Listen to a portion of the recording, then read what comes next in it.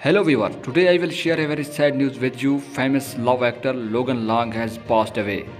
Logan Long was a famous adult industry performer and he has worked with the various prominent production houses in the adult industry such as Naughty America and many more. Since the news of the Logan Long demise surfaced on the web people are eager to learn what is his cause of death. The news of the Logan Long's unexpected demise was shared by XBiz. XBiz stated he passed away on Wednesday.